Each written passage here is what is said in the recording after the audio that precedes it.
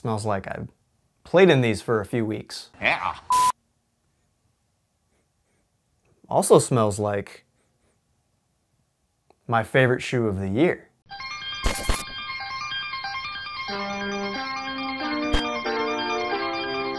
What's up guys? Thanks for watching Wear Testers on YouTube. My name is Jackson and yes, I cut off all my hair and yes, I am in my mid 20s, but I have the hairline of a man in his mid 50s.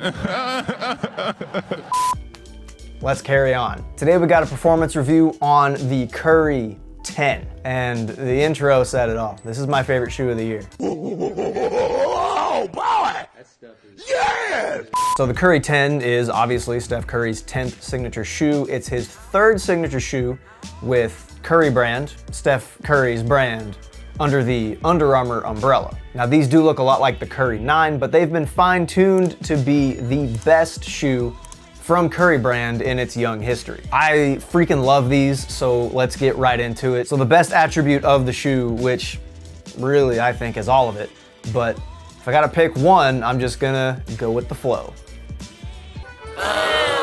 So if you're unaware, Flow is the foam used as the midsole and outsole on the Curry 10, just like it was on the Curry 9 and Curry 8. Under Armour has tweaked their implementation of Flow. I'm not sure about the compound itself. Maybe they've tweaked that a little bit, maybe they've left it the same, but they've definitely changed up the pattern a little bit. And dude, this stuff is incredible. Traction is incredibly grippy. It's enough for you to trip over yourself if your footwork isn't on point.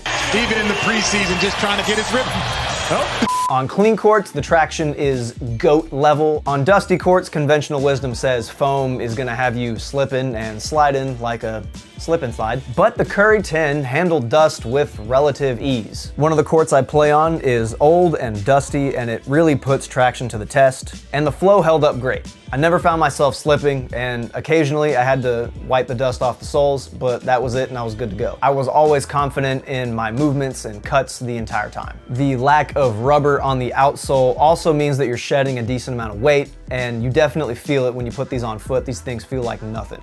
The only downside that I can think of with the traction is the outsole durability. I mean, it is foam. After playing in these for a few weeks indoors, I am seeing a little bit of fraying on the outsole.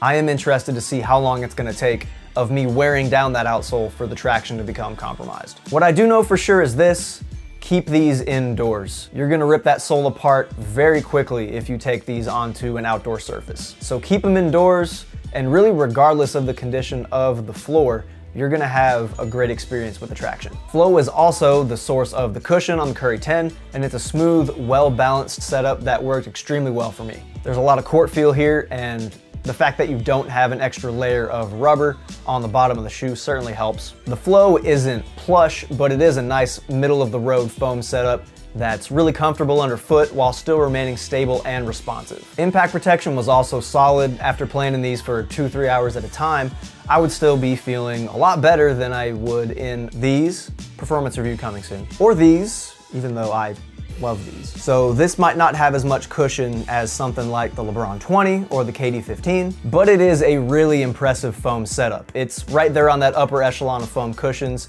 for me, it's right up there with Boost and Micro G and Boom when it's implemented right.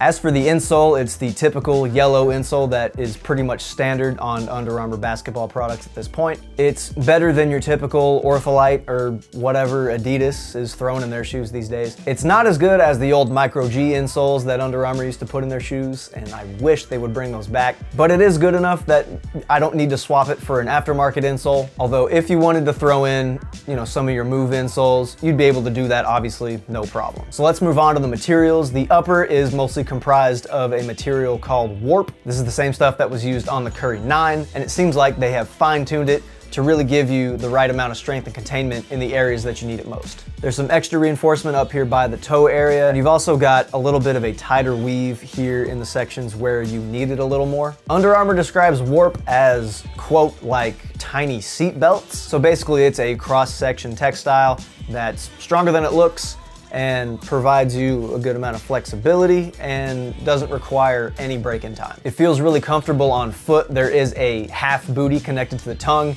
that extends from the midfoot area up through the forefoot that adds an extra layer in there and helps provide some more comfort. The materials do allow for some airflow, so that is an added bonus, especially there right above the toe box. The tongue is nice and comfortable, does a good job of relieving any lace pressure. Now let's talk about the fit. I got my true size, and that is what I would recommend for anybody with a normal to narrow sized foot. Lengthwise, they're true to size, perfect.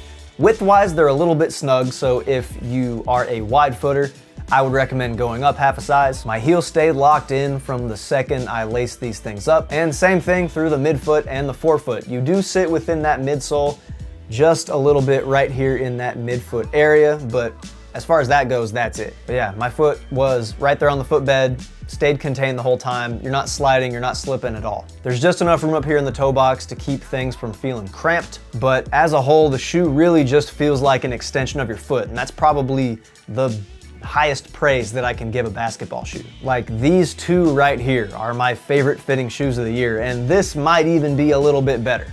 Wow. So the support begins with the fit, and you're off to a great start there. You've got this heel counter right here. That's gonna help you stay locked in, no shifting side to side, up and down. You've also got an internal heel counter here on the medial side, really to balance things out and keep things locked down. The lacing system is simple but effective.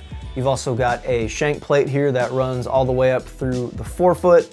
So you do have some forefoot flex, but the shoe really is more sturdy than it looks. The base of the shoe isn't aggressively wide, but it is wider than your foot. So it's gonna provide you with plenty of stability. Like I said earlier, the Curry 10 truly feels like an extension of your foot. It's not giving you over the top support, but it's giving you exactly what you need exactly where you need it. So no matter the movements you're making, you're gonna be covered. I know it looks like a running shoe, but it's more supportive than even I thought it was gonna be. So there you have it. This right here, Curry 10, is my favorite basketball shoe of the year. I love the flow tooling, the fit is precise, and the support is gonna be enough for the vast majority of hoopers. I'm hoping that outsole durability doesn't become an issue until, you know, further down the road. If and when that happens, I can provide an update for y'all on Instagram. Follow your boy on Instagram. Like this is an example of innovation and risk taking that pays off. You would have told me even just a few years ago that, you know, you could have GOAT level traction from a foam outsole and a shoe that looks like this, this, be this good, I, man, I'm really intrigued to see where the Curry line goes from here because, you know, this is a fine tuning of the 9, which built upon the foundation that was set by the 8. Where do they go from here? I don't know. These are available now and there are more colorways on the way. If you already have the Curry 10, drop a comment, let me know what you think. As always, thank you so much for watching, and until next time, peace and much love to you.